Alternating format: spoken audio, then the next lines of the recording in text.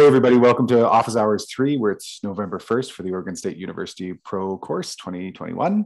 Uh, we're jumping right into questions. Nicole was just uh, talking about uh, that she answered her own questions and it takes time.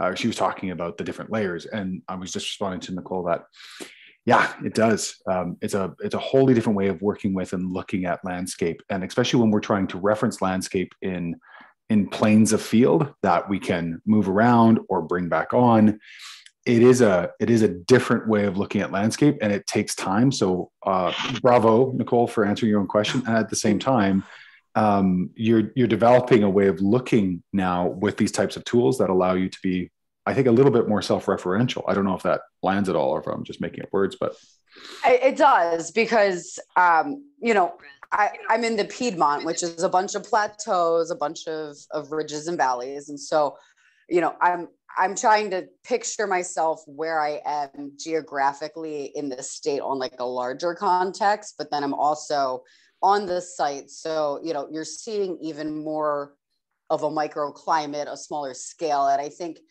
overall, when I was putting some of that together over the last few days, it was just, you know, in different places. Yeah, and it's it's granularity. You know, something that I came to when I uh, did some studying with Sepp Holzer and went over to Austria and saw the Krameterhof and saw the Holzerhof, uh, which is his two farms. The Krameterhof being the you know the super shiny one that everybody knows about, and then the Holzerhof. Really interesting story behind that farm. Um, he thinks at a scale that most landscape designers don't. He thinks in watersheds, he thinks in valleys. He did a design in Spain and Monaco for the Princess of Monaco that basically transformed about 25 square kilometers because it had been denuded for almost six centuries and then brought all of that water back. And once the water was there, then he could go back into plants. And once the plants were there, we've got a functioning ecosystem again. So yeah, it's it's something that I'll talk about a little bit today uh, when we talk about should North be up. But we have an incredible illiteracy when it comes to landscapes. And we also suffer from something called landscape amnesia. We don't live outside. We live in these recycled air boxes with artificial light and we don't live on the landscape. And when that happens, we don't notice changes in the landscape. I think everyone's had this experience um, or has seen this experience with others where you're driving around town and someone's like, oh, that's never been there. I, I don't know where that came from. Ah, it wasn't there when I was a kid. Yet we don't have a similar conversation when it comes to landscape. We don't notice erosional changes. We don't notice fire changes. We don't notice season changes. And starting to move towards a relational experience where we're actively outside, we're actively observational, is the other side of all of this data work, which in a remote remote course, that's part of it. And then the offset is, and this is why I still work for OSU and do this course, is because it is so design focused. There's no other PDC on the planet that gives you a little bit of the design project, gives you feedback, and then iterates and then iterates and then iterates. Mostly, it's it's all jammed at the end of the course, and good luck. So it takes time. I really appreciate you taking the time to look at it and to process yourself. And um, yeah, bravo. All right. So I want to jump into the questions right away because we have a lot, which is fantastic. And I've got a couple of points to make first. And thanks so much, everybody, for showing up. So nice to see everybody. Um, thank you again for all the questions and conversations that have been coming in. Um, been really fantastic. I've been really enjoying the conversations with a lot of you. Uh, and thanks so much for everybody who reads the um, the Zoom etiquette. So appreciate that too. Okay, so uh, first and foremost, uh, share to slide. So this is a, a an order of operation, a logistic things for me that allows me to take less time getting to your slides and more time giving you feedback. Because of the way this program works, I have a certain set amount of time to work on your work. And if I can give you feedback, that's great. So basically, wherever you are in your slide, if this is, let's say, the first slide in the series of assignments for that week, all you do is just click up on top, copy this link, and then paste that link for me. That gives me the ability to go directly to the slide that we're starting with and to move forward. Huge help for me. Um, almost without exception, blue is for water, green is for vegetation. I have a small exception if you're working in microclimates and you want to acknowledge that one of your microclimates is moist or wet and you want to do it in a light blue or a dark blue or purple or whatever. Um, green, I have very little exception for. Um, and the reason is this as a designer, you have to work with not just convention with other professionals you work with landscape architects civil engineers etc you also have to work with your clients who generally speaking have a certain way of looking at the world. And generally blue is water green is vegetation. So what i love about this course is is i get to impart exactly where your type of work is going to interface well with client and if the client is multi stakeholders, it sometimes works if you're working with parks or with big corporations. You just want to have the highest amount of literacy possible, the highest amount of integration possible. So um, I'll call this out every single time. Um, and know, again, when I'm calling these pieces out, I'm not saying you're wrong. I'm just saying if you would like to have the highest degree of iteration and the highest degree of, of uh, literacy, um, that's where it is. Um, bolded highlighting so this is something I came across when I was working with uh, an incredible landscape designer, and they did it all the time in their work. And what they did is they basically pulled out the highlighted materials because blocks of text, our brains kind of move over it. So this is a great example from Nicole where it's just bolding out the specifics house with attached garage replace wire fence with privacy fence install a permeable parking lot it just allows you to quickly pick it up and funny enough it came from the comic book industry so uh, fantastic. I love I love seeing this. What I would do generally is I would continue this on through the entire assignment, and whenever there's uh, you know bolded completely, I would debold and then go back to bolded highlighting. And especially when we get to our SWOT analysis, this is a great opportunity, and I loved how Nicole did this. Just pulling out um, the the high level order of operation. I came to SWOT analysis years ago when I was working with clients, and they needed to understand my work. They needed to get a sense of my internal process. So if you're ever in the public school system, and especially in mathematics or any of the STEM, it was show your work. This is us showing our work. Sometimes, and uh, I usually start to get frustrated student comments about this point, uh, where people are saying, "Oh, I'm getting the same answers." That's the point the point is is to take every lens of every assignment put it over your site and say okay well what are the strengths? What are the weaknesses? What are the opportunities? And what are the threats? We're basically sieving through this site through multiple swot analysis underneath the lens of each assignment to get a sense of okay am i reading the landscape correctly? This was a wonderful Sepp Holzerism uh, the book of nature is always open. And when when not if we read it wrong we can always go back to read it again and this is one of these ways of helping you to really look through your site and get a sense of it over and over and over again. But I will say this you want to look through your site through the lens of that assignment. So, this is another good example where Nicole took specifically the base map. And so, if you look at her base map, get a sense of it, you're seeing elements of it. When she gets to strengths, good sunlight, right?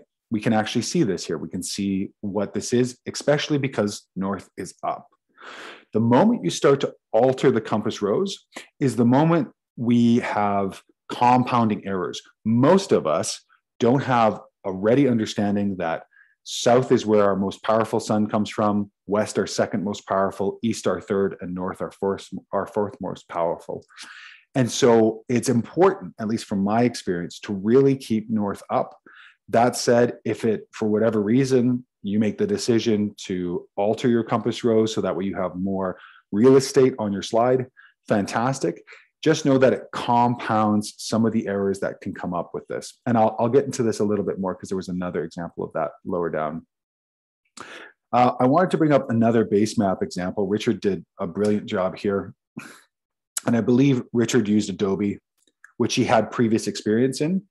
We actually recently got a, a very angry email from a student who, regardless of the fact that the landing page doesn't say any of this, he felt like this was going to be a rendering course and he was going to get full rendering skills uh, within this course.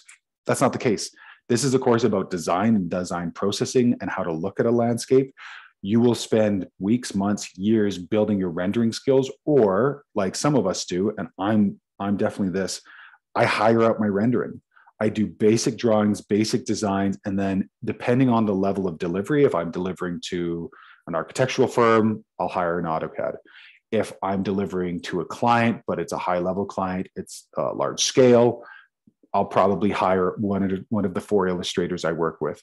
If it's a client with whom I know has a higher level of DIY and is interested in doing it, I'll usually just do everything on Google Earth Pro because it's easy to read, it's transferable. I can send them files, they can send me files.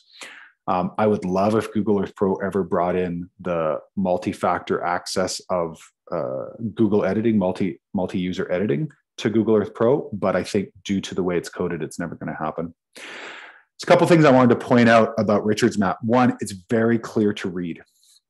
You're looking at it, you're seeing the elements of it. Uh, it there's very little to get confused by. The second was he didn't put in his units for his contours, so I pointed that out. Always have to put your units for any measurements you put on your map. The third thing he did, and we'll get there eventually. If you ever want to skip ahead, go to the water survey map. In it is there. There's a reference video called "Water Flows at Right Angle to Contour," and we've got some contour questions today, which I'll go into. But basically, water always flows at right angle to contour. So if we take a look at this, his original map. I'm going to pull up an arrow here. His original map had an arrow that did something like this. Oh, let's try this one more time. draw there we go. His original map had something like this. I'm just going to make this a little bit thicker so that way it's a little bit more pronounced. And by a little, I mean a lot. So he had an arrow like this. Now, is that generally correct? Sure, that's generally correct. But because this is a course about teaching, if you take a look at this this um, contour, and I'm going to draw out this contour just because it's going to be a little bit easier to see here. And uh, reduce line thickness. So here's our contour here. And if we go back to our arrow tool, when we're building and understanding water flow, water is going to flow at right angle to this contour. That means you're going to have places where water flows and concentrates, which is uh, technically called a valley. We're going to have places where water is dispersed, which we call a ridge. When I come into a landscape, I will take and draw out the specific ridge that I'm seeing here. And there was a little wobble in my, my hand as I was doing this on my mouse. So here's our ridge. And then here's our valley. Something like this.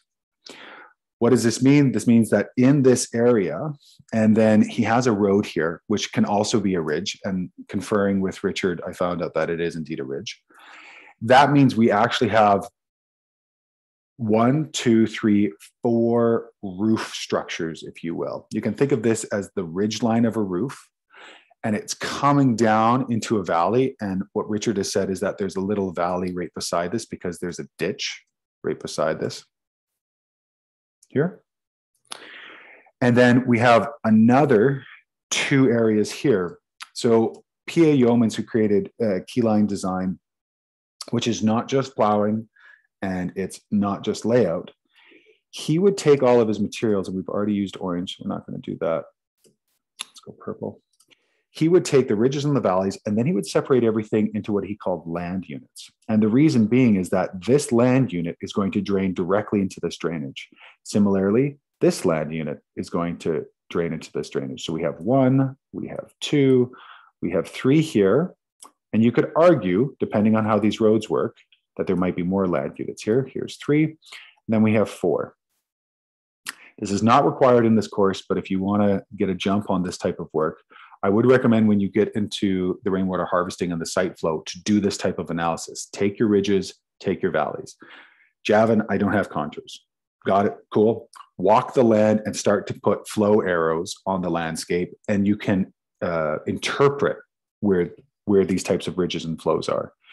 So again, if we take um, the idea that one meter squared times one millimeter of rain equals one liter of water, we can take the square meterage of this plus the annual precip, and we get to the total amount of rainfall that falls on each one of these sites. And because of the way the land is shaped, we know that the rain that falls on this side of the landscape is not going to go this way or this way or this way. So we'll eventually get there, but I wanted to bring this up um, a little bit early because it'll help with uh, a number of your interpretations as you're going through the different elements here. Uh, Akadina did an amazing drawn, um, hand drawn design, which was fantastic. Again, I said this in the very first tutorial. I recommend drawing first. Um, digital design has a whole other level of conversation to it. So feel free to um, to go back to drawing if you want to. And the last thing I'll say is that there's a couple of folks who didn't want to put in inspirational photos into the client survey. And I'll say this there will always forever be a time in my design career where it was before I started asking clients to create um, desire boards through things like Pinterest and Houzz, and after. The more information a client can give me about what they're thinking and what they're looking at, what they're interested about, the more I can start to integrate that into the design myself. So in every single design that I'm working with uh, that has to do with any sort of aesthetic feature, I'll send clients to either Houzz or Pinterest and say, start to collect photos of what you're excited by. I need to start seeing what the aesthetic is. The reason for that is beautiful designs get maintained.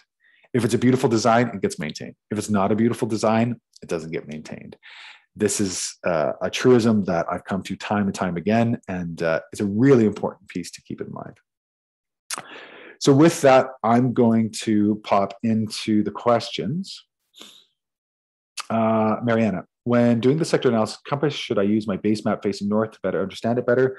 Due to the limitations of my design site, a very long, narrow building, I had moved it northeast to be able to fit more detail on the drawing and be more specific. If I do use north facing, it's okay to only leave the drawing and remove the wording so it looks a little neater. So, a couple of my answers. One, it's advisable to always use north as up when you start working with other professionals, with the exception of sometimes in the Southern Hemisphere. Convention is that north is up.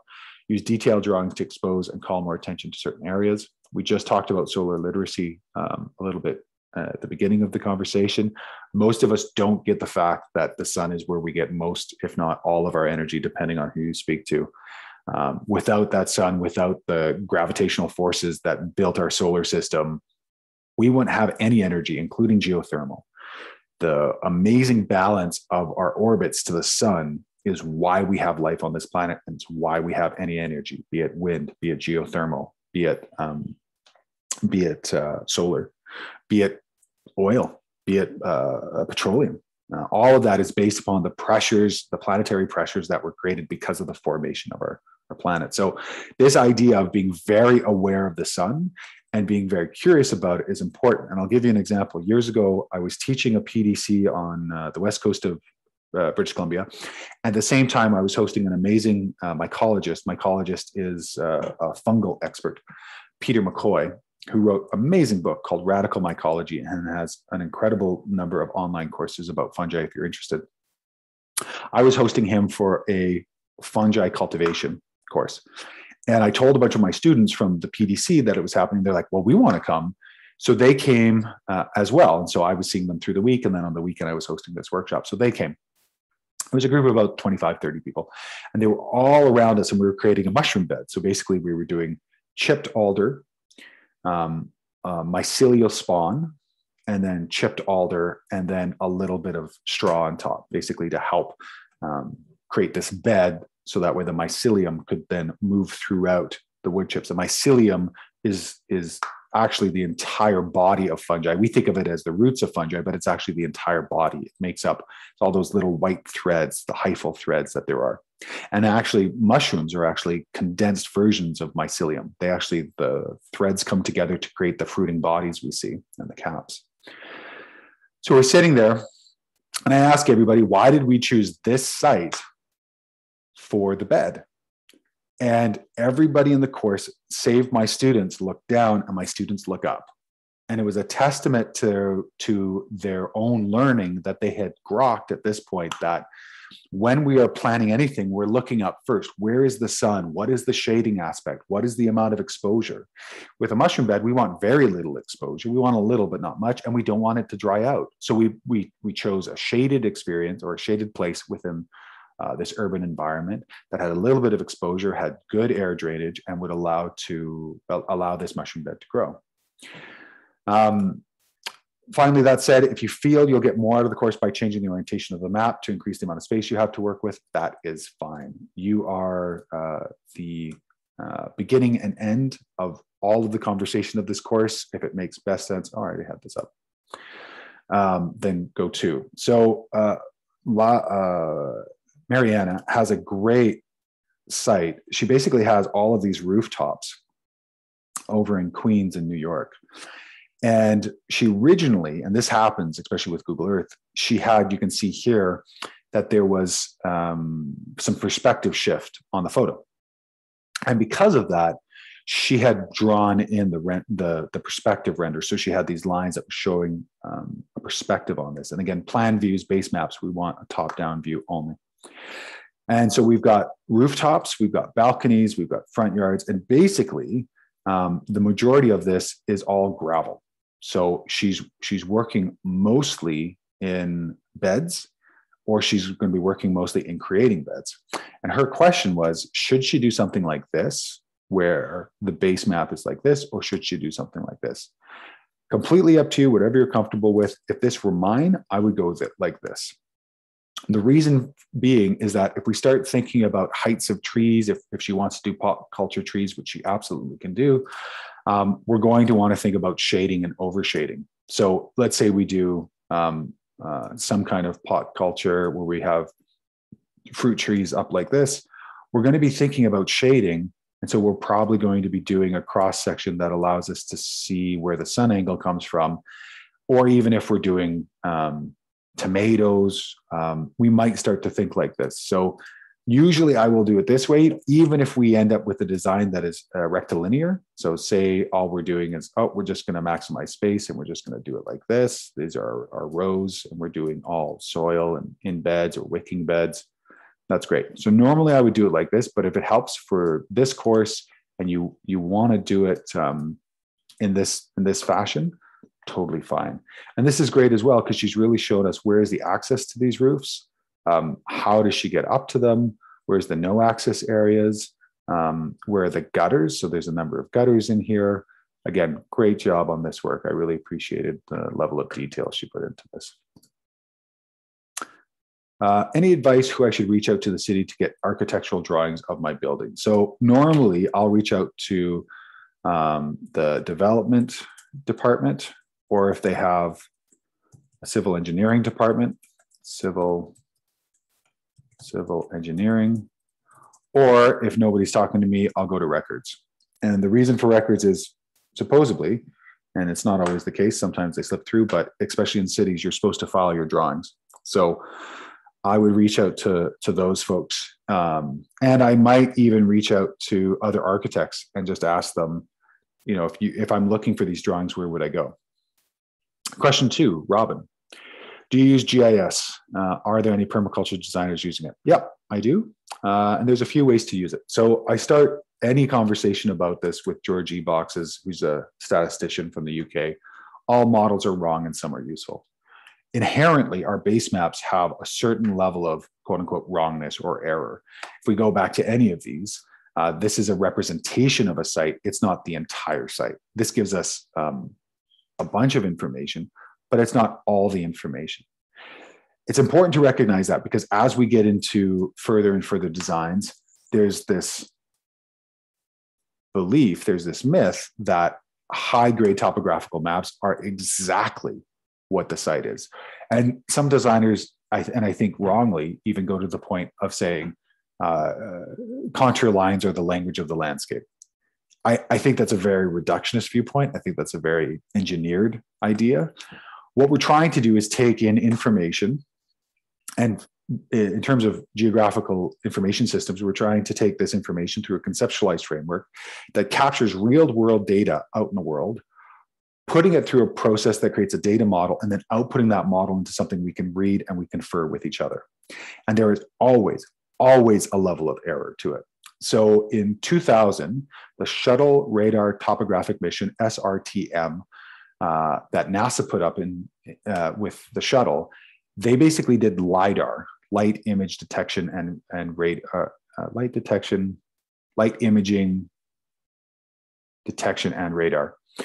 And what they did is they shot lasers down to the planet. And in terms of their speed and their frequency bouncing back, they got an accurate reading of what the planet was. But each pixel that they captured was 30 meters, which means if your site has any differentiation between 30 meters on the elevational axis, what's called the Z axis, then the computer did the very scientific work of interpolating, also called guessing, what was inside of that topography.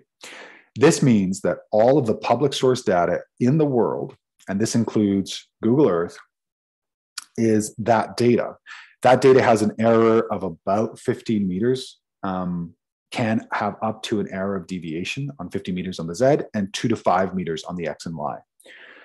Does that mean we shouldn't use it? No, but it means that we should be relatively aware of that error and we should plan accordingly. It means that once we have data about the site, we should always be ground truthing, going to the site itself and laying out and figuring out how things lay out on site. Doesn't matter if I've spent, I just did a, a survey with a client where I brought on an RTK real time kinetic ground station and um, receiver walked the majority of the property that was treed, got a number of data points. That was accurate down to sub centimeter, which is pretty accurate.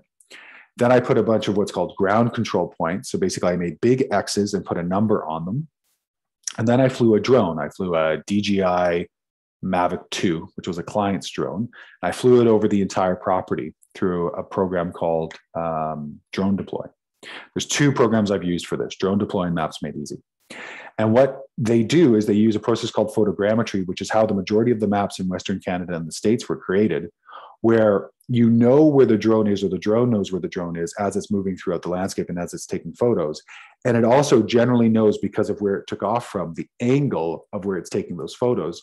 And so it can produce uh, an accurate contour map up to eight centimeters, eight to 10 centimeters if it's untreed by doing this process. And what we did is because we had trees, we also then went into the landscape, took a bunch of points, and then a colleague of mine, Paper Street Permaculture, Brent Smith, has an amazing algorithm that basically reduced the height of the trees in the places where the data wasn't as um, as uh, accurate as it could be using the points that we took as reference.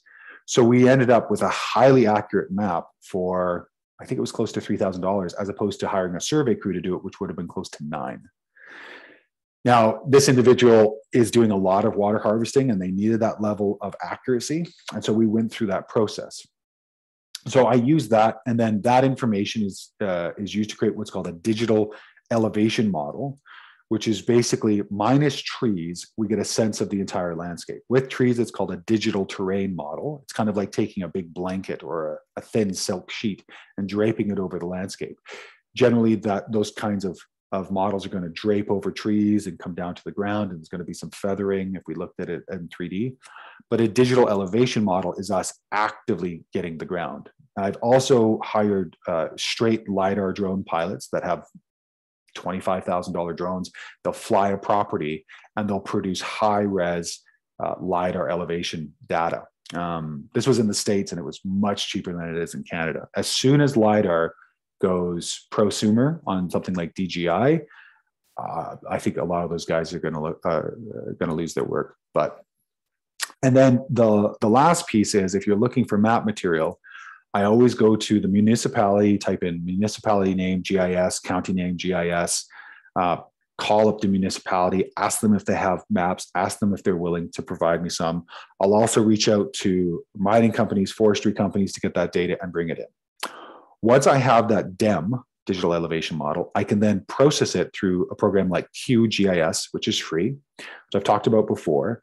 Uh, the Regrarians do an amazing training on QGIS if you're keen on it. It's a high level program, it takes a lot of, of understanding.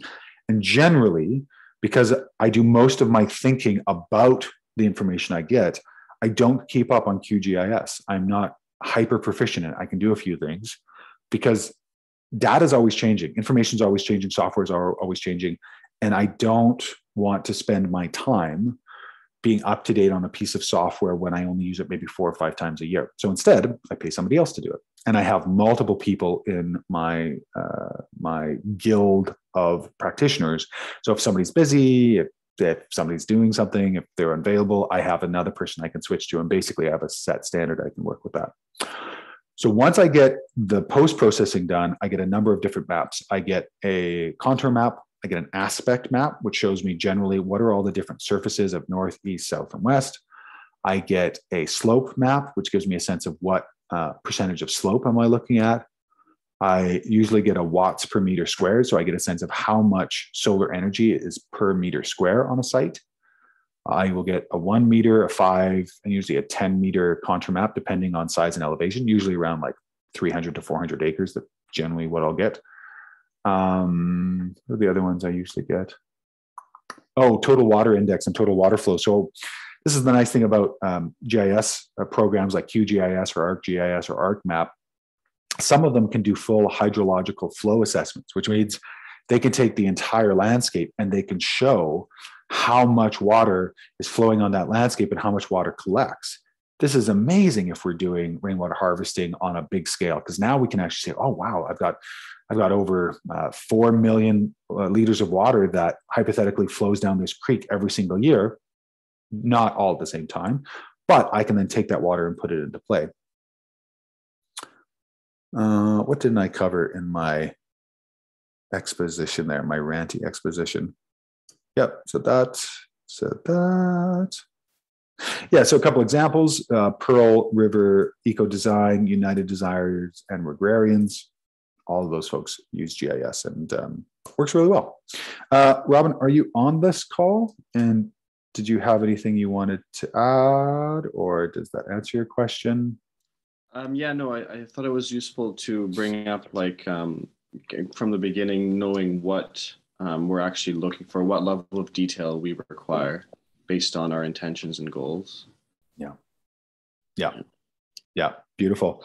Um, you know, when we get to urban sites or we get to like sub half acre sites, unless there's a big watershed above us, I don't I don't usually engage in that process. It's really when we're taking a look at large scale land design, we're taking a look at water storage, we're taking a look at tree placement, we're taking a look at animal movement, um, shelter belts, thing of things of that nature. Because when you get to this work, and I use I use a number of tools. I think we talked about this before. I'm not a capital P permaculturalist. I don't show up to somebody's house and they're like, oh, the permaculturalist has arrived. I show up to somebody's house and I'm a land designer and permaculture is a tool in my tool belt. And it's a, uh, you know, it's a pair of glasses I put on that like these glasses have a tint. Um, and I see, I see the world a little differently. And especially when you get into keyline design, you see the world dramatically differently.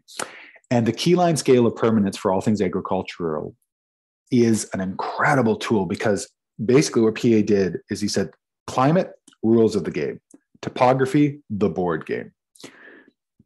Water, the number one element we need in the game of this land design process. And again, I've talked about this before, but the Regrarians took P.A. Yeomans' work of keyline design, turned it and uh, amalgamated it into the Regrarians platform. Fantastic course. Highly recommend the Rex, which is their online uh, course for anybody who wants to go into large scale land design and wants to do productive large scale land design. Fantastic. Great community. You'll be in like minded designers. Uh, really good stuff. But that keyline scale of permanence uh, for all things agricultural really gives you a sense of what you should focus on first. And that's why, right at the beginning of this course, climate, we're talking about climate, and then we're talking about topography, and then we're talking about water. We're really trying to get that into your mindset. And Geoff Lawton, um, took that as well, you know, a water access structure. Uh, this was his distilling of the keyline scale of permanence to say, well, water first and foremost, but water is dependent on topography and topography is dependent on climate. So skipping a couple steps. And then access. How are we going to get in if we can't access it? If we can't maintain it, it'll be a problem. And I will make a pitch now. When you are designing, when you are placing plants in the landscape, you need to be able to access them. If you have all these circles together, you cannot access that design. The number one problem designers make when they put in designs is they put things too close. Number one problem. If you put a number of support plants or what's called chaperone plants, if you put a bunch of nitrogen fixers in there or pioneers and you know you're going to cut them out and they're going to feed the rest of the system. I do this a lot with alders. Alders are nitrogen fixing trees that are pioneers um, and take take quite a bit of abuse, quite a bit of pruning because they're pioneers. They're built that way. I will cut alders during the bloom, and this is true for all legumes. During the bloom is when their nitrogen potential is at the highest.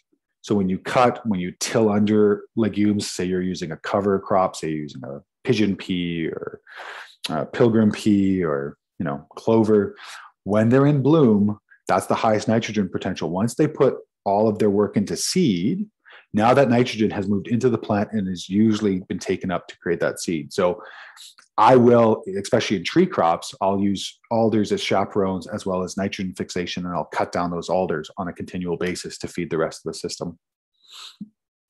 All that from a GIS question. okay, uh, Jonas, is it okay to perform the above ground percolation test with a seven inch can? Jonas, are you on the call? Bum, ba-dum, ba-dum, ba-dum. No, Jonas, you are not. Okay, I'm going to answer this in a way that I hope I can get it. So we have what's called percolation test and an infiltration test. And one, if you go back to, or if you haven't looked yet, go to the, the soil instructions and go to the assignments and go to the percolation test. One is above ground, and you're using a can basically, and uh, a one gallon pot is is uh, is recommended only because there's a certain volume of of, of, of water and it gives us a certain rate that we can then transpose. Um, so if you're above ground percolation test and you're using a chopped off bottom of a, of a pot to give you a sense of, of what that infiltration rate is, yeah, it's fine. A seven inch can, I think, would be fine if that's what you mean.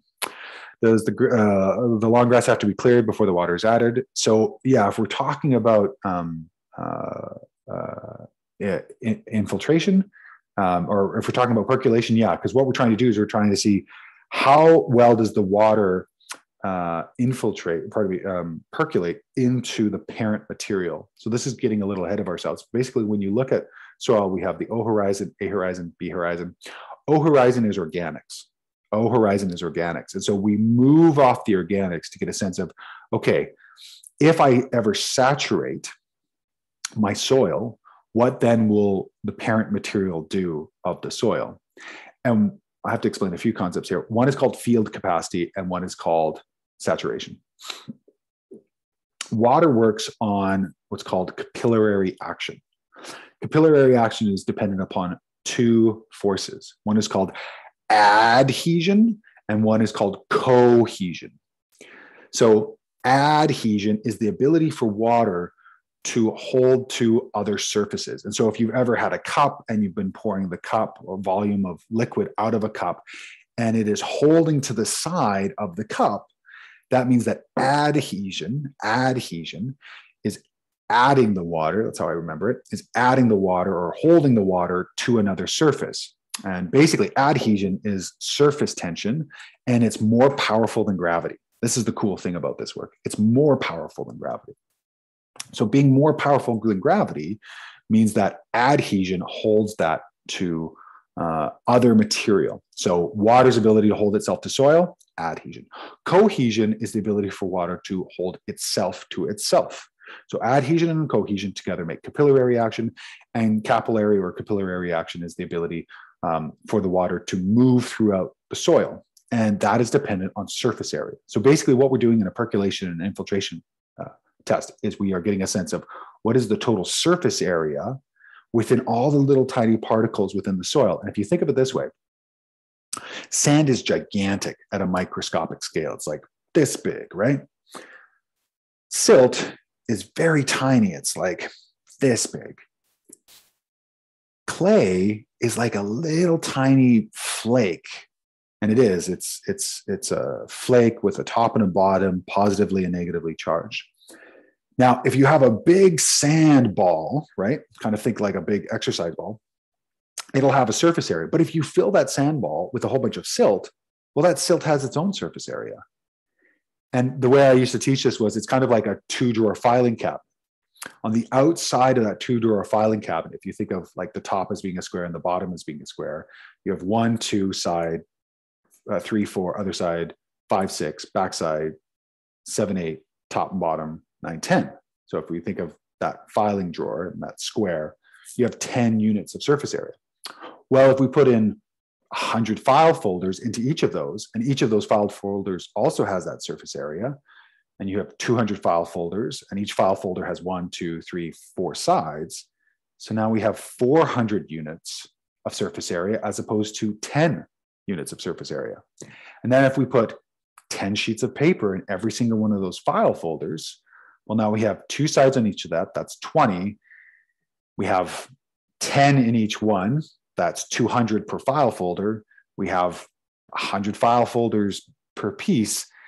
Well, you know, now we're looking at 4,000 units of surface area. So when we are pouring water either on top of our O horizon to get a sense of how much is the O, horizon absorbing, or we remove the O horizon and putting it on the parent soil and going into and seeing how much of that soil will absorb. We're getting a sense of the surface area ability, uh, or the surface area quantity, I guess, of that soil to absorb water, and then its ability to uh, drain water. Because as you go down particle size, clay holds on to that water because it's so small and because adhesion and cohesion and capillary action hold on to uh, hold on to water and we know this you know just colloquially or commonly clay holds a lot of water. And because those particle sizes are smaller than the rootlets of plants plants can't always get that water. And because clay holds water so well you can create bucket effects especially if you plant a tree into clay soil and you don't interface with the soil well. If it rains, you can actually fill up the hole, even though it's totally full of soil, because the clay isn't going to absorb that water as fast as the very porous material of the tree. So, again, very long answer to say yes. Remove the O horizon to get the parent soil and then conduct percolation test. Doesn't matter if the soil is already moist from rain. Yeah, it'll give you what's called a wet percolation rate. So, if it's already wet, you get a sense of how much more water you can add to it. And this is really important in terms of duration. So if we have very sandy soil and we wet it, we know that the water will infiltrate quickly, but it also drain quickly. So that means we're probably going to do less water more often. If we take a look at silt uh, soils or loamy soils, well, now we can do heavy waterings and we know it'll hold and we don't have to do it as much. And with clay, clay is difficult. Uh, you put too little, it doesn't absorb. You put too much, it runs off um, and it becomes saturated. So all of that comes into play in terms of how we do our watering scheduling. And the last thing I wanted to say is that when it comes to um, capillary action and and and soil, is that we have these last two terms. We have field capacity and we have saturation. Field capacity is when a soil absorbs as much water as it can and still has interstitial airspace. Interstitial airspace is basically the space in between the soil particles called the PEDs, P E D E S, PED. So a soil particle is called a PED, kind of like a molecule, but for soil. And if you take a look at it under a microscope, basically you'll see all of these, these soil particles, and there's a film of water around them all, but there's interstitial airspace. Now, the reason why that's important is that these are terrestrial environments. They need air. They're aerobic environments. They need oxygen. They're not anaerobic environments without oxygen. So you need to have air in these environments. Once a soil moves past field capacity and into saturation, now the interstitial airspace is full of water. And now the terrestrial life that is in your soil is dying. Why?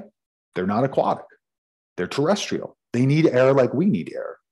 And this is important when you're thinking about water and moving water through a landscape because you want to get to field capacity as much as possible because that removes the burden of watering off you, the designer, the maintainer, the gardener, the farmer, the productionist, the rancher, and onto the soil itself. And this is why for us, the soil is the most economical. Uh, it has the most potential. Every percent of organic matter we raise on an acre is something to the order of 20,000 gallons, 80,000 liters. So every percent of organic matter we can raise on an acre is 20,000 gallons, roughly 80,000 liters. And this has been retested over and over and over again. Rodale's done a bunch of tests on it. Um, a number of university extensions have done it, but this holds true. 1% of organic matter increased on an acre. We have about 20,000 gallons, 80,000 liters. Usually, when we're installing rainwater tanks, you can think a buck a liter. Um, although recently, with with what's happening in the state of the world, we've seen costs uh, sometimes double or triple for rain tanks. So take that for what you will. Nicole, great. We talked about that at the beginning. Richard, unfortunately, I won't be able to join the meeting. Okay. But, uh, but apologize. I heard you mention hugelkultur. I've watched a few videos on it. I'm very intrigued. I read hardwoods are better than softwoods. I also have lots of ponderosa pine. How does ponderosa pine do for hugelkultur? Okay, so I think we talked about this last time. I'm just going to go over it one more time just so everyone's clear. So, say we have a site, and this site, for whatever reason, we want to create more soil, we want to create more water holding capacity, we have a lot of trees to be used. We can work with a process called hugelkultur. And hugelkultur is the process of digging a trench, putting in a bunch of logs,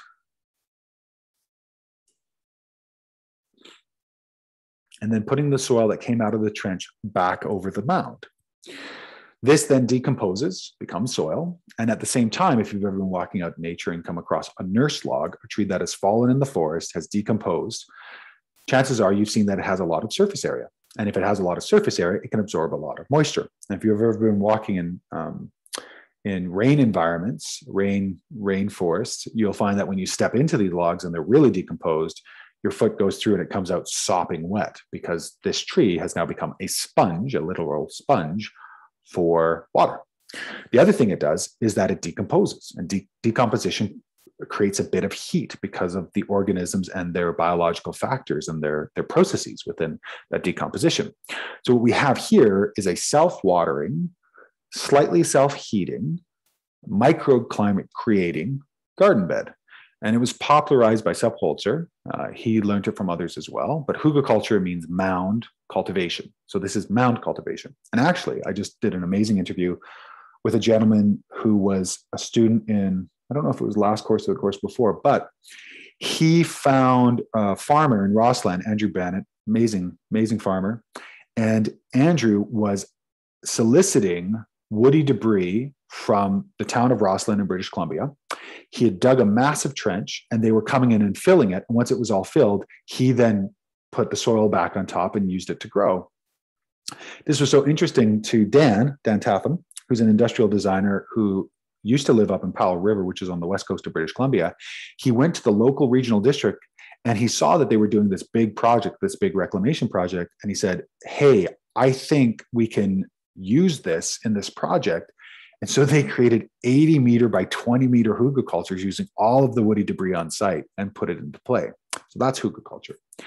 Building hugelkultur, couple of rules of thumb. First and foremost, you want wood that's decomposing. First and foremost, you want wood that's decomposing. Can you put in live wood? Yes. Should you be, when you're starting off, should you be cautious about that? Yes. What you want to do is you want to use decomposing wood. Why? Because you know it's already decomposing, and the biocides that naturally occur in woods, especially barks, have uh, have are no longer there, are gone.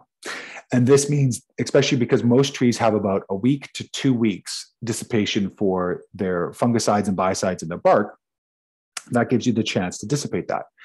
In the case of some trees like alder, red osier dogwood, and willow, these are trees, not all, not, not only these trees, but a lot of pioneer trees can be can be live staked, which means you can cut down a willow, cut down an alder or a branch. You can dig a hole in the ground and stick it in the ground at a time when there's a lot of rainfall, and it'll completely regrow as a tree. We did this by creating an instant privacy hedge.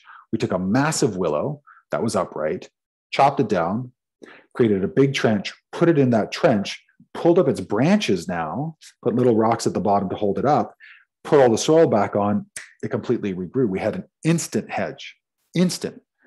And we were a little cheeky. We put it underneath a power line so that way the local power company would come by and, and trim the hedge.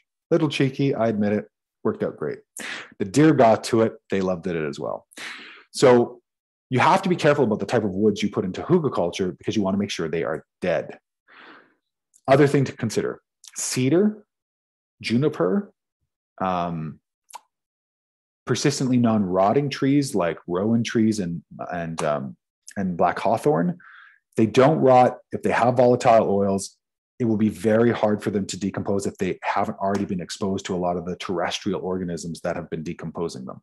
So this is why, for me, I usually put my, my wood aside on year one. wait for a couple of years or a year or two, and then put it uh, put it back in.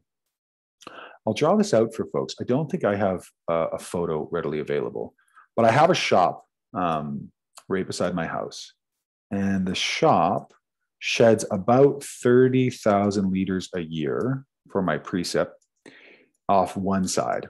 And I had this area right here that I was really interested to grow in. So what I did is I dug like a big capital E. So you can think about like a big capital E here. And what I did is I put, actually this is all the way out, is I put this trench right under the drip line of the shop. You know what I'm gonna, yeah, there we go. Right underneath the shop. So basically water sheds here, drops here. And basically all of this got filled with a bunch of wood, including ponderosa pine, because that's what I have in my, my area as well. So there was all of these, these logs underneath and it came and mounded up. Then I took my soil, put it back over these three um, areas, let it sit for a year. I didn't worry about growing anything in it year one. This year during the heat dome, we got above 52 degrees Celsius. It was one of the hottest places in British Columbia.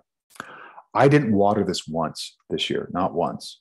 I watered when I transplanted to make sure that the, the plants were good. That was it.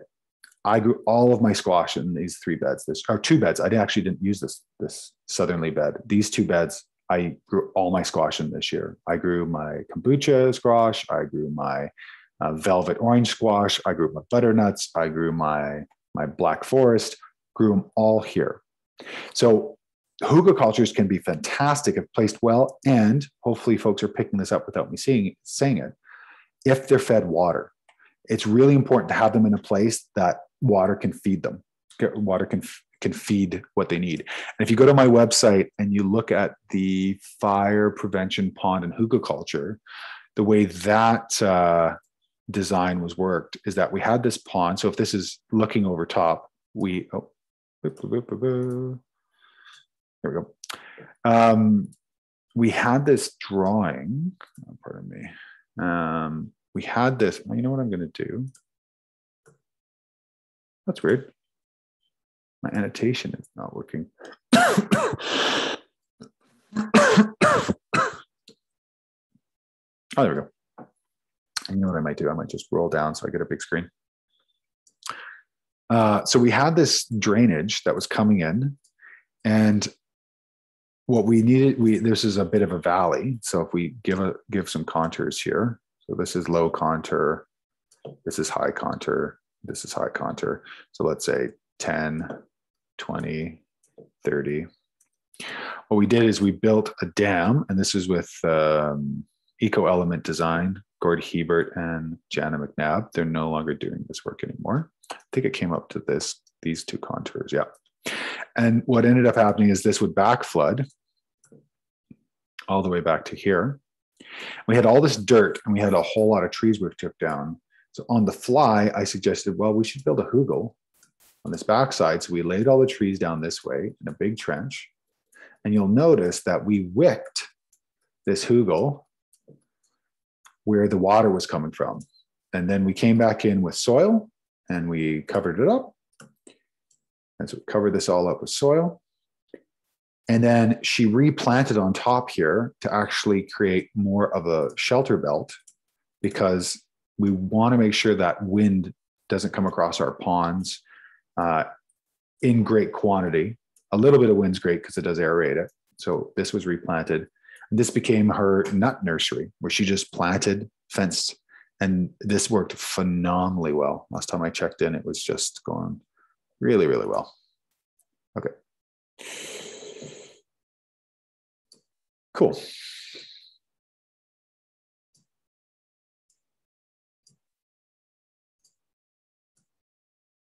There we go. So I'm going to pop back up here to the first. And Richard culture. Okay, this is a monstrous question.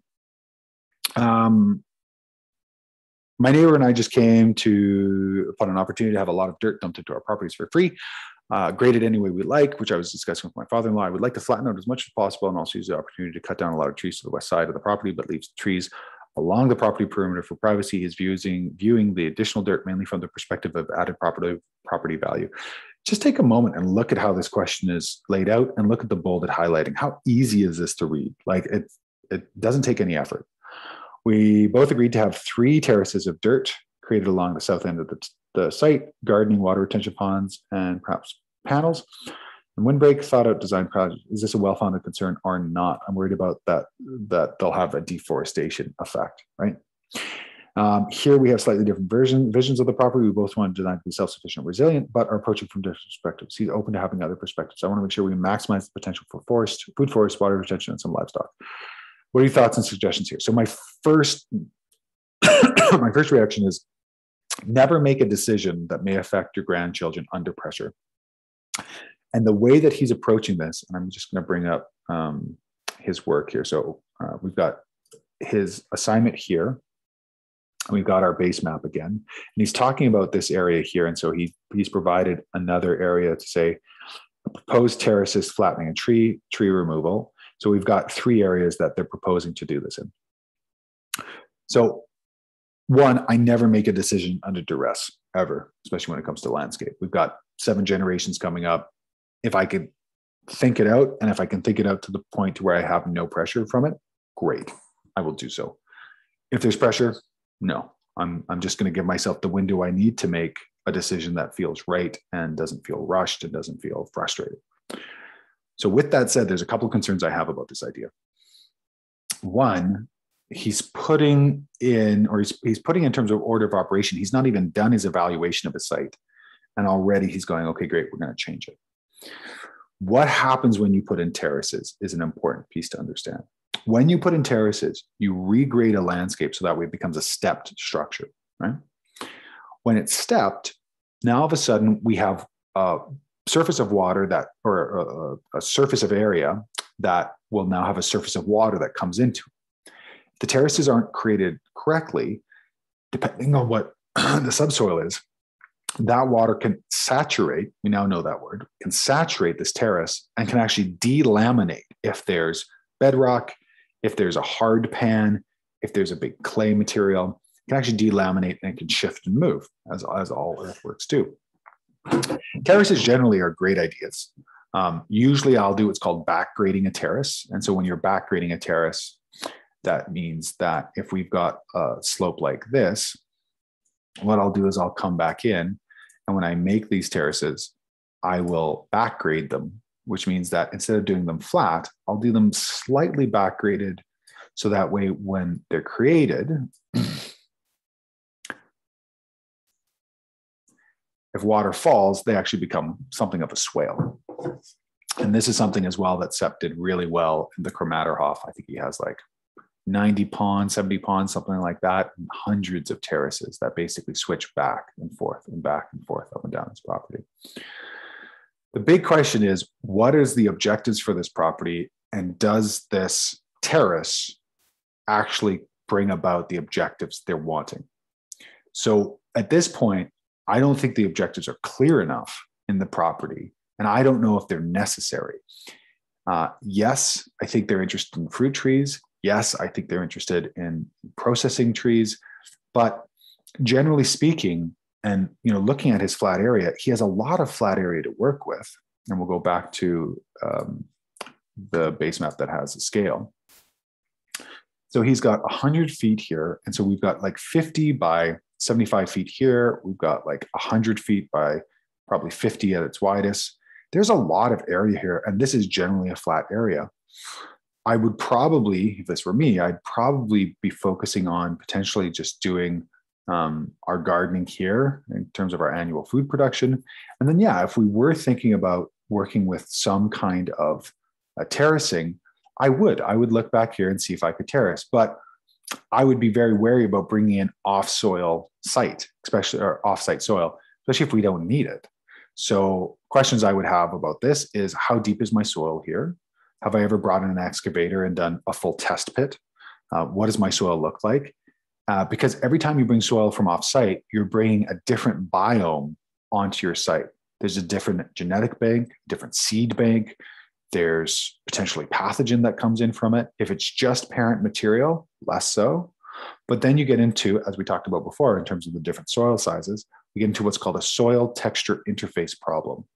So if the soil on site is smaller particle size, which means it has higher surface area, and if the broader material has larger particle size, which means it has less surface area, chances are what will happen is that material, if it's on top as a terrace, have to get to saturation before the material below it will accept any water because at saturation, gravity starts to work on that water. So I would caution against this without really thinking it through and getting a sense of it.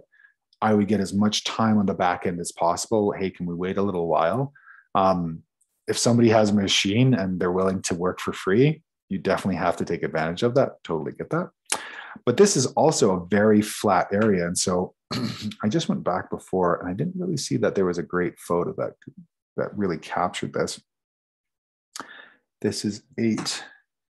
And eight is looking back towards the volleyball court. So yeah, so we have generally a slope here, but specifically this area here, and I'm just going to zoom in. There we go.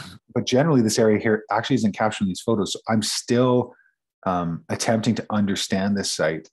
Um, what I could imagine is if he went ahead and did a cross section early. So, Richard, if you're watching this, um, if you did a cross section here early and here early, you could get a sense of earth moved. I would also go do a test pit. Um, those are some of the things I would do first and foremost before evaluating this. And Richard, feel free to continue to bring this up in our conversations uh, for the assignments, or if you want to reach out, um, please do. So those are some of the things I'd be thinking about in this.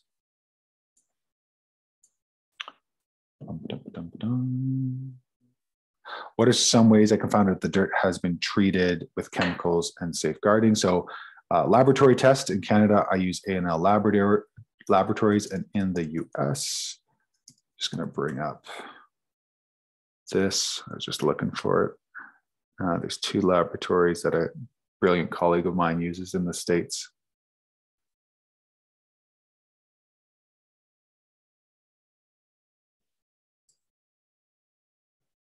Yeah, here we go.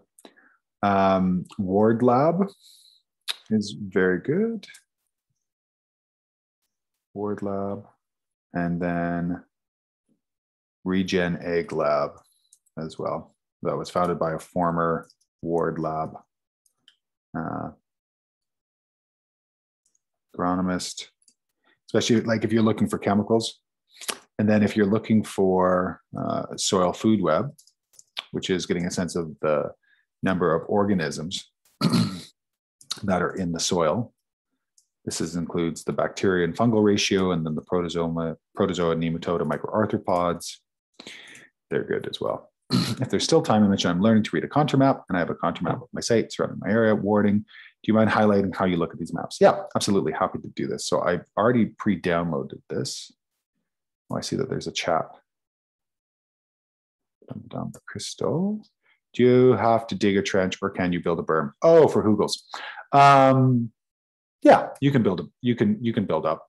You can totally do that. The thing about building down with a Hugel is that it gives you a subsurface water collection site. Um, and it really helps to create like a coral reef for soil organisms. That's a great question. Thanks for that. Sorry, I didn't see that before. Okay, we're going to run a little long if you have to go. Uh, we'll see you in two weeks' time. And uh, thanks for everybody's assignments. If you want to stick around for bonus time, I will pull up this contour map and I'll go through how I would decode this landscape. I love decoding contour maps. So if I get giddy, I'm in my zone. and may we all find Nerdvana together. It's all about being geeky and nerdy. Okay, so here's our site. And I'm going to move my annotation tools a little bit to the top so I can see this fully. And I'm going to move my ugly mug there, I guess. Well, maybe someplace else. Real estate, real estate, real estate. Okay, there we go. So when you start with a topographic map, this is not just a topographic graphic map. This is also called hill, shot, uh, hill shade relief or relief map. And what that means is that uh, there's been a computer program that's run this contour or somebody has physically gone in. they've given us a bit of a sense of the shape of this so our eye can see it by giving us a bit of shading. Um, areas that are quite shaded are more steep. Areas that are less shaded are quite uh, flat. So hill shaded maps are great. You might see these in uh, backwoods or backcountry road maps or hiking maps. If you've ever done any orienteering, um, these are the maps that I grew up with in Boy Scouts because I was indeed a Boy Scout for many years. Um, so looking at this, uh, there's a couple of things to, to, to just take a look at. Roads are usually double lines. Um, and usually a single line is left to writing.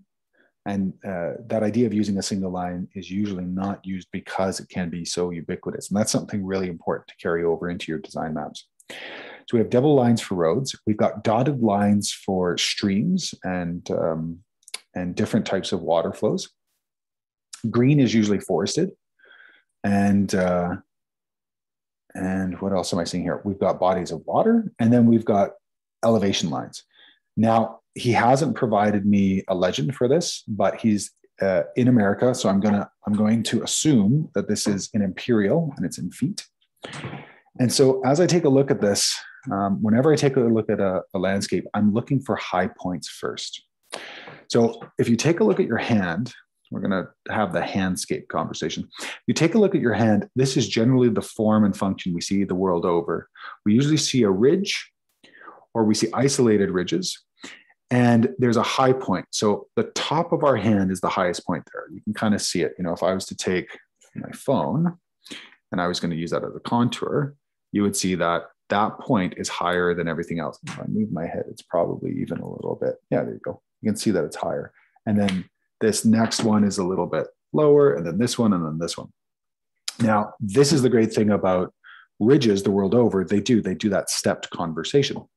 Um, there are some individuals who have been purporting that uh, there's uh, same elevation heights in the world, and um, that's wrong. But similarly, when we're going into this work, we're looking at high points and we're also looking at ridges. So, of course, the top of my finger is going to be a ridge and a ridge and a ridge. And in between my finger is going to be valleys. So, we've got uh, high points, right? We have uh, top summits, if you will.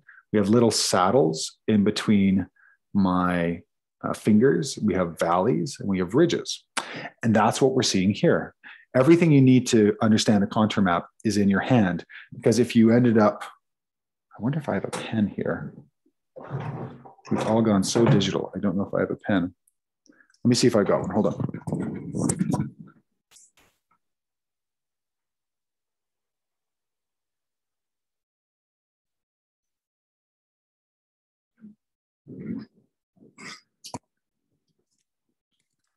Enough, I don't have a pen. But if I did, what we would do is we would draw all the contours on here and we would end up with a contour map that we could read that would look just like this. I wish I had a, I'll do this next time in the, uh, in the office hours. I'll, I'll do the handscape. But if that makes sense to you, you can then start to decode a landscape. So decoding landscapes for me goes like this. Hey, look, a high point. Hey, look, a high point. Uh, blah, blah, blah, hey, look, a high point. Oh, hey, look, a high point. Cool. So that's generally what I'm seeing here. Oh, another high point over here, another high point over here. So these are tops. These are tops of the roofs, and they're isolated tops of the roof. So this high point here, you know, this contour line here is never going to interact with any rain that falls down here because it's higher, right? It's peaked higher. So these are all tops. These are all the tops of my knuckles, if you will. And then as you're looking at this, they've already given you a bit of the information in terms of drainages. So as we look down, we know that we have our drainages that run down here, and our drainages that run down here, and our drainages that run down here and then spread. So this is interesting. This is a saddle. So this is coming down a ridge and then pops up to another little summit, if you will, and then comes down here. So this water comes down quite acutely here. And then you start to see as we're getting closer to his site that we've got this bigger watershed. Now, again, we've got a ridge here. So our ridge stop starts up here and comes all the way down. And then there's another one that starts up here and comes all the way down. And there's one that comes all the way down here. And there's one that comes down here. And then there'd be another valley here. And then there's one that starts here. Now, this one's important because as we take a look at his site, this ends up becoming a dividing line. Again, this is the top of the roof. Ridges are tops of roofs. And so the water that falls onto this area is going to divide this way or this way. It's going to go this way or it's going to go this way. That gives us a sense of what we're looking at. So if we come back to his site,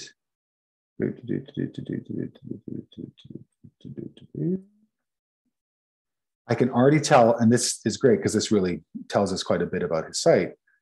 His site is on a ridge. This is a dry place. This is a place that doesn't get a lot of water. This means anything we can do to bring more water to the site is of value. So I'm going to zoom in now. Oh, maybe I won't. There we go. Thank you. I'm going to clear my big understanding, and now we're into our small understanding. So here we have a couple of, of interesting conversations. We have this, this watershed that comes in here. Uh, pardon me, this, this flow. Now, if this is the flow that on his site, I think, I'm not sure, but I think is this.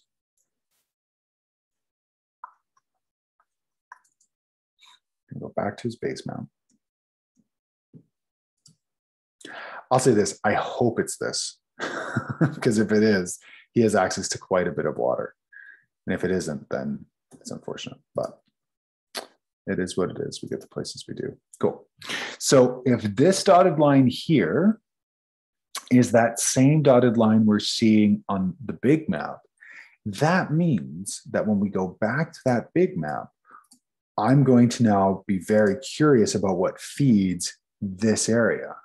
Because this area here has a potential larger watershed. So if we zoom out from this, actually, I think what I might do is I might draw directly on the map instead of using the um, annotate. Where's my draw tool?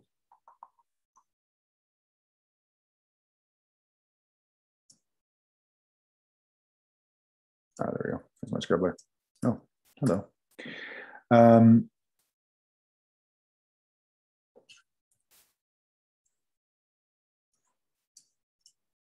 nice. So if this comes up here, what I want to do is be careful and be aware that it's going to have a drain, and we see this here. So this drains all the way down here. But I want to know, oh, yeah, maybe like that. But I want to know what feeds this. So to do that, I would have to then turn back over to my assessment of ridges and drainages. Oh, no, I don't want that. Blue, and a new one. Okay. So in this, now we're going to start to think about, well, where are my ridges? So here's a ridge. Kind of like so. And here's a ridge up here. And basically all the water above this is going to come down this way. Oh, that's interesting. And then all the water to this ridge that's over here, that obviously was poorly rendered by the computer, which is very common for computers. This ridge is going to, you know, right about there, is going to fall this way. So what I have is between this area and this area, and we start to see, yeah, so this water will flow down here, and here's another ridge. So we have another ridge here that we can see. And it takes time to learn this. It takes time to be comfortable with this. What I can say is you should absolutely get into the habit of doing quite a bit of drawing with contours um, and just playing with this process because it does take time. And then this comes down here-ish. Probably something like this, I imagine. Something like this. So if we take a look at this water, and if we, again, think about the fact that water flows at right angle to contour, so if we zoom in here, we now have the boundaries of the top of this watershed. So we have this area. Switch over to the other drawing tool so I can pull up my arrows.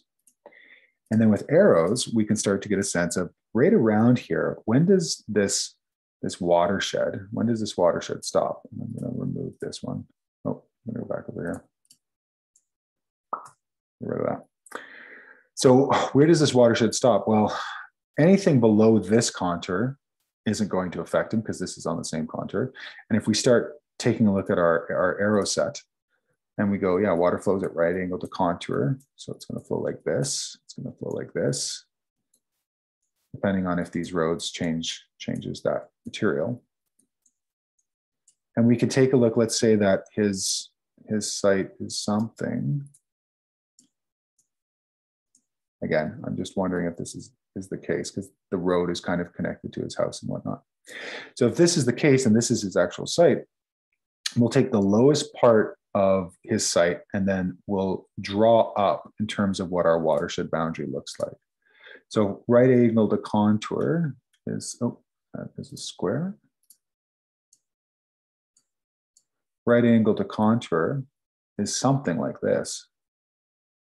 Because again, water flows at right angle to contour but it includes all of this, includes all of this, and includes everything that flows into this drainage as well. And then probably comes out a bit and includes this. So this is actually the extra credit water assignment that uh, you'll be getting into. When I look at this, this is the area that I'd be most curious about. I'd be curious if there are farms up here. I'd be curious if there's um, any types of agriculture that might be affecting this, this site. And truthfully, I don't know if anybody caught this, but my uh, my drawing tool was actually a little, I was blocked by the toolbar. So actually it would go up here. So ignore this line. Unfortunately, you can't just erase certain portions in Zoom. So that means all of this is our watershed. This is our watershed that comes into it. So this is how I end up decoding landscapes and getting a sense of, well, where are all the areas and what am I seeing? How does this look? there's any questions about this, I'd be happy to take a question or two about how to decode these landscapes. If this makes sense, if this doesn't make sense, do you do have a question, you can put it in the chat bar, just raise your hand or not raise your hand, just um, um, demute yourself, unmute yourself. There we go. There's the other one. Makes sense. Can you hear me? I can. Cool. Sorry, I had to get back to work. Um, but this is what I this is what I processed this morning, okay. trying to figure out where I was on the watershed. And so um, I work for a nursery, guys. And so I'm finding out that I'm at the top of these plateaus. So it's very important that we do regenerative work for the overall watershed as a whole. Um, since we're, we're sitting up at the top of one of those ridges. Yeah. Yeah, exactly. Which means that your quote unquote roof that you might draw water from is reduced. So this is where I get excited about roads that are boundaring properties because you might be able to take some of that road, ditches, anything like that, or potentially access on contour from something else that's further afield. So all of that are, or all of those elements are potential water sources you can pull from, depending on regulation, depending on relationship, depending on skill, uh, but I love that. It sounds like you're you're processing that really well, Nicole. Bravo. Thank you. Any other questions before we take off, folks? Anything else that can help to evaluate what we were talking about today? I'm just going to check and go back to the question. Nope, we're all good. All right, folks, super, uh, super great to see everybody. I hope the course is going well for folks. I haven't heard from many of you that there are problems, so I'm going to think that's great. If you do need one on one help, reach out. I've been having a couple of Zoom meetings for folks that are frustrated or discouraged. Remember, this isn't a rendering course. I've, I've worked with high level designers that have been doing this for 40 years and they work with crayons. I'm serious. When we when we go to Uganda, when we go to Kenya, we do designs in dirt, you know, and and sometimes overdeveloped individuals in petroleum nations get really worked up that they don't know how to make the pixels look good. Don't worry about it.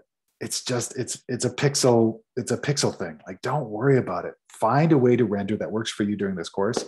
The most important work that happens in this work is between the ears. This is the climate of the mind we're trying to change. This is the climate we're trying to change, not out there, but inside our head. We're trying to look at a landscape in a way that goes, oh, the sun matters and water matters and the soil matters and those animals that come through in a migrating pattern matter. Not this pixel isn't the way i want it. Don't worry about the pixel. If you can't make it work reach out to me. I'm unfortunately really good at google slides. It's a program i never thought i would ever be as good as uh, in as i am today. But what's amazing about it and this is this is my pitch for it anybody can pick it up anybody can learn it anybody can put something together that looks really quite professional and can pass it on to a client and say, here, here's my ideas. Here's the reasoning behind my ideas. Here's what I would do. Or you can hybrid, grab a piece of paper, grab transparency, work with grid paper, use pencil and pen, and just draw it out. And if your printing is isn't great, like mine isn't, great. Draw everything out and then bring it into Google Slides and then type out your words. Like just work with what the way that it works for you. And we're all going to get there in the end. You don't have to suffer alone. Please reach out if you have any problems.